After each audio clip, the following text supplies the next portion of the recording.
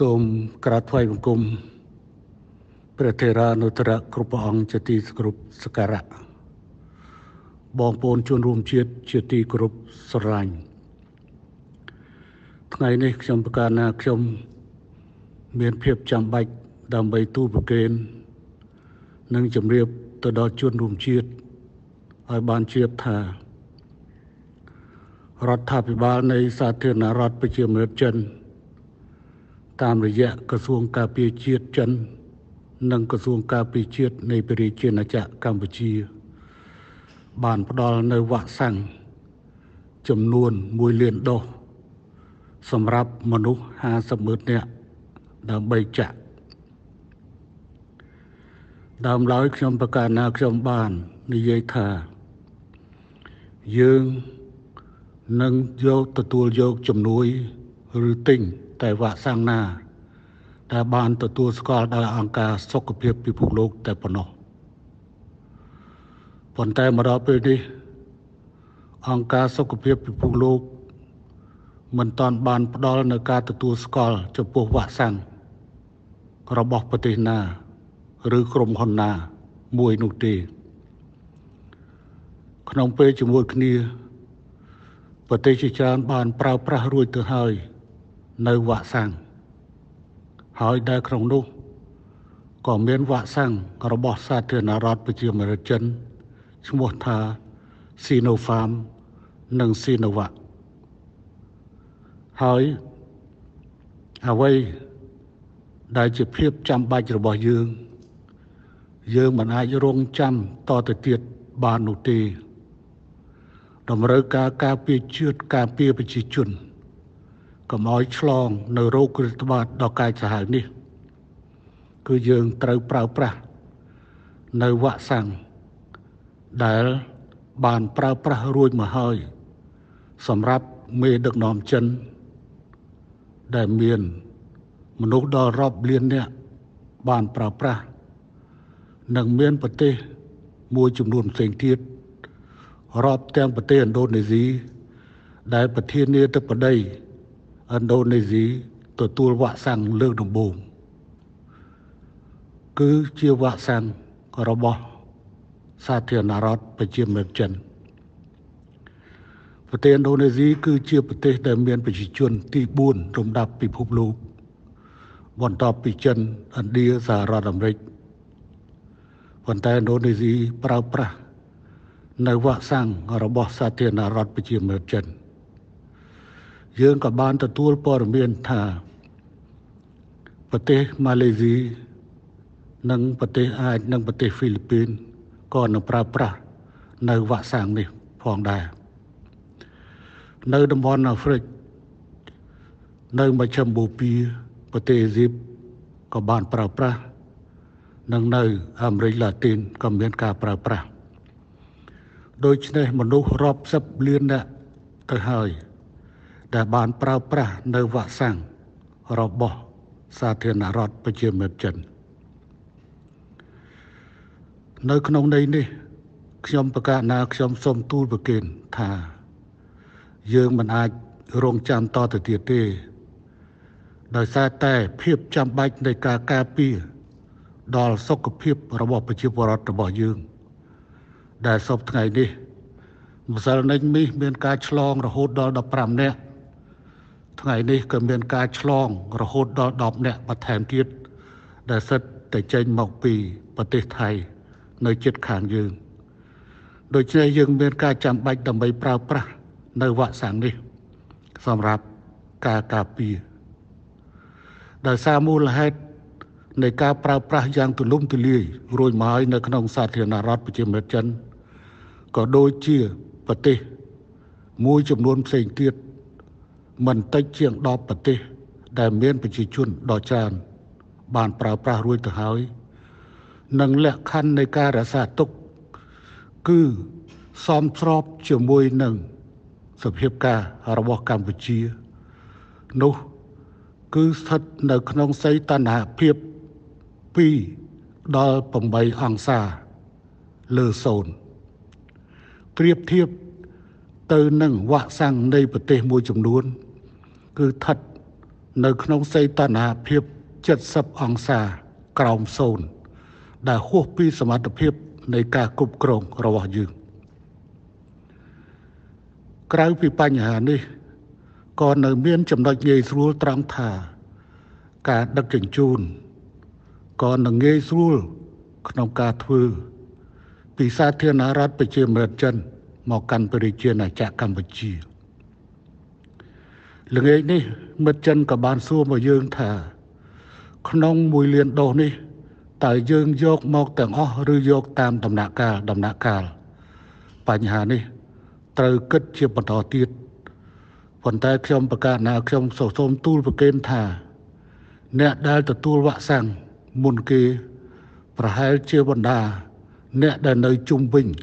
ខ្លួនខ្ញុំប្រកាសណាខ្ញុំតែម្ដង ដែលនេះជាភាពចាំបាច់នៃការការពារសម្រាប់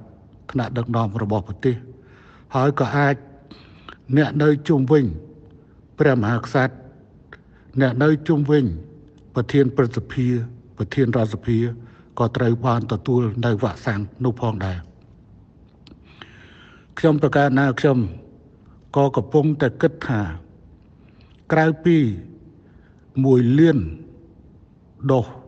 ដែលនឹងចាក់បាន50ម៉ឺននាក់សម្រាប់រយៈកាលដំបូងនៅខ្សែត្រៀមជួមុខដែលខ្ញុំប្រកាសណាខ្ញុំធ្លាប់បាននិយាយរួចមកហើយ យើងក៏ត្រូវគិតទៅដល់ការទិញបន្ថែមទៀតឬស្នើសុំបន្ថែមទៀតពីសាធារណរដ្ឋប្រជាមានិតចិន ឬក៏ប្រទេសដទៃនៅក្នុងលក្ខខណ្ឌនៃតម្លៃសមស្រប ក៏ដូចជាសមត្ថភាពនៃការគ្រប់គ្រងវ៉ាក់សាំងរបស់យើង នៅក្នុងកម្រិតនៃសន្តិសីតុណ្ហភាពដែលអាចទ្រទ្រង់បាន70ឬ80អង្សាក្រោម0គឺវាជាការលំបាកនៅក្នុងការគ្រប់គ្រងរបស់យើងដូច្នេះមូលហេតុដែលខ្ញុំបរណាខ្ញុំ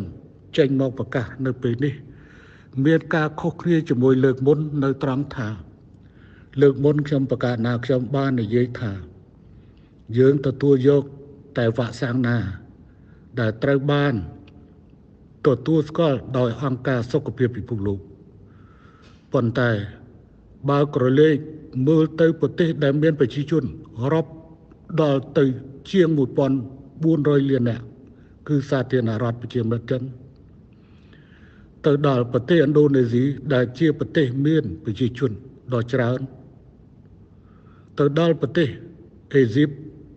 ទៅដល់ប្រទេសប្រេស៊ីលនិងប្រទេសដទៃទៀតឃើញថាប្រទេសទាំងនោះហ៊ានប្រើប្រាស់នៅវ៉ាក់សាំងរបស់ចិនដោយគ្មានការក្រែងរ៉ាយ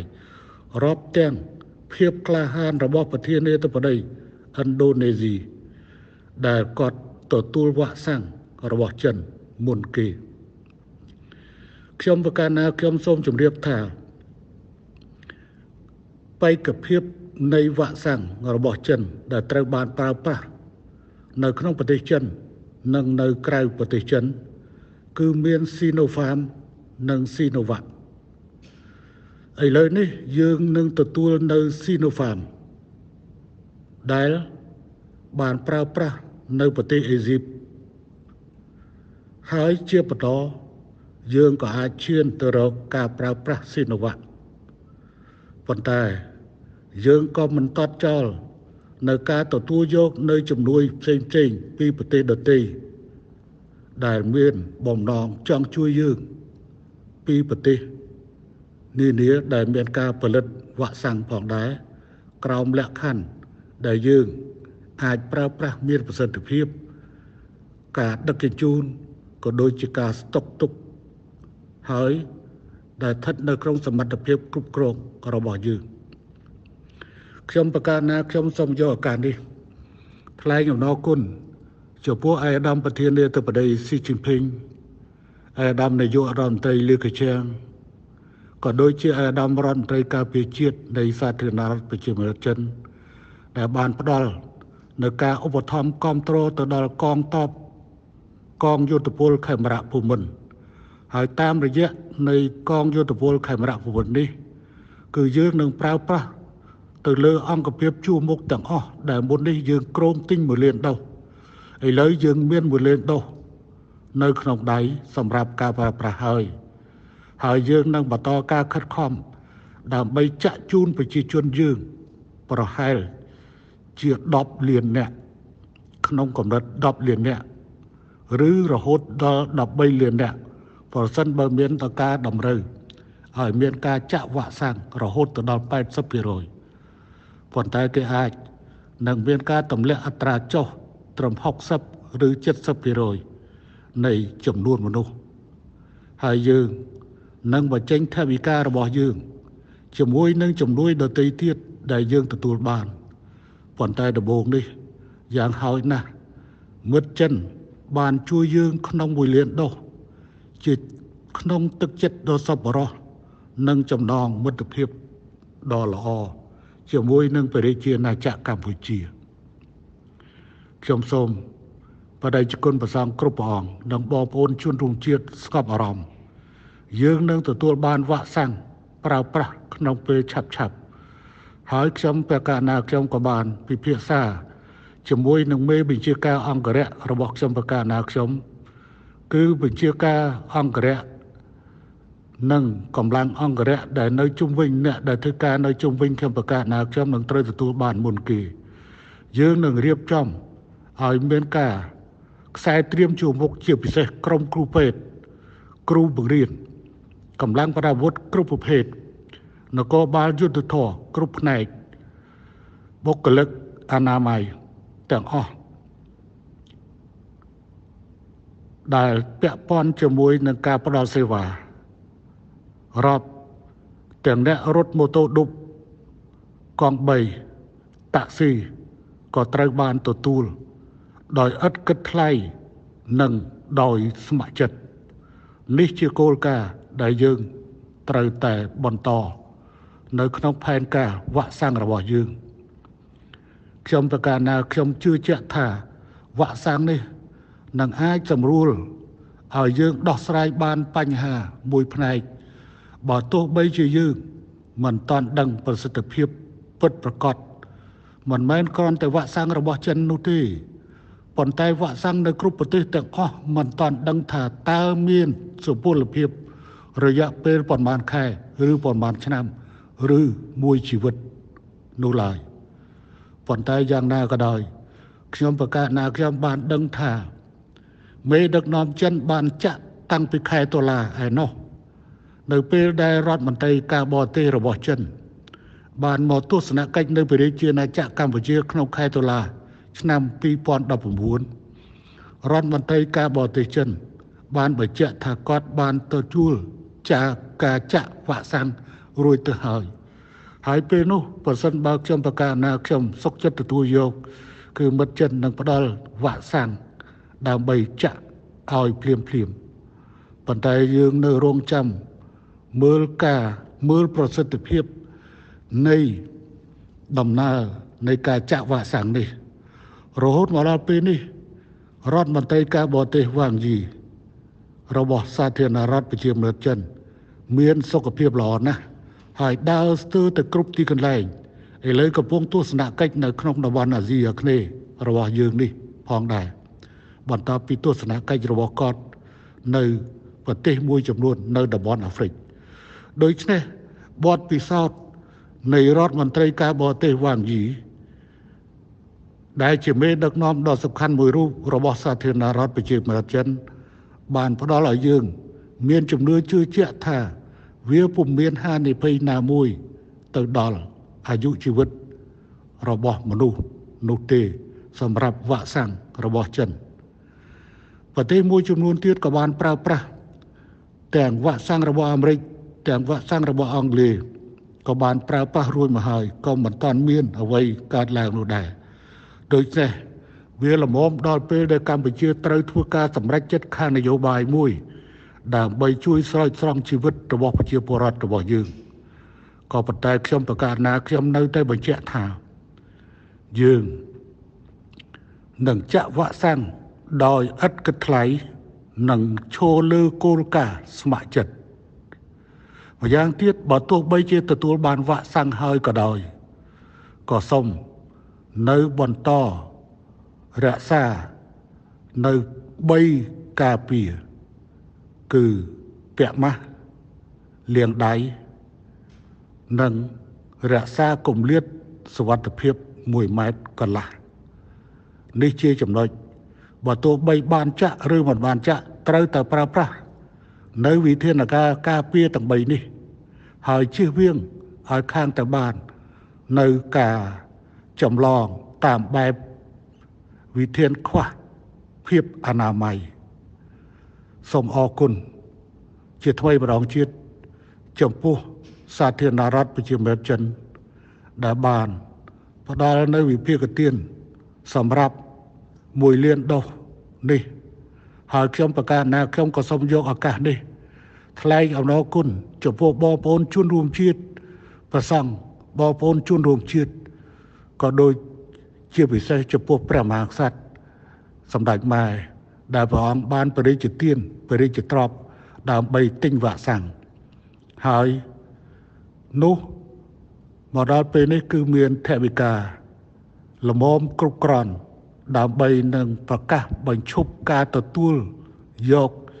ចាប់ពីម៉ោងនេះតទៅនៅការចូលរួមវិភាគទាននានាយើងទទួលបាននៅវ៉ាក់សាំងនេះ យើងក៏បានចំណេញប្រាក់មួយចំនួន សម្រាប់ដោះស្រាយបញ្ហាផ្សេងទៀតនៅក្នុងប្រទេសរបស់យើង ហើយខ្ញុំសង្ឃឹមថាខ្ញុំប្រកាសណាខ្ញុំសង្ឃឹមថា នេះមិនមែនជាលើកទី1មិនមែនជាលើកទី1នេះជាលើកទី1តែក៏មិនមែនជាលើកចុងក្រោយដែរក្នុងសមត្ថភាពរបស់ចិន ក្នុងការជួយដល់ប្រជាណាចក្រកម្ពុជាសូមអរគុណសូមអរគុណ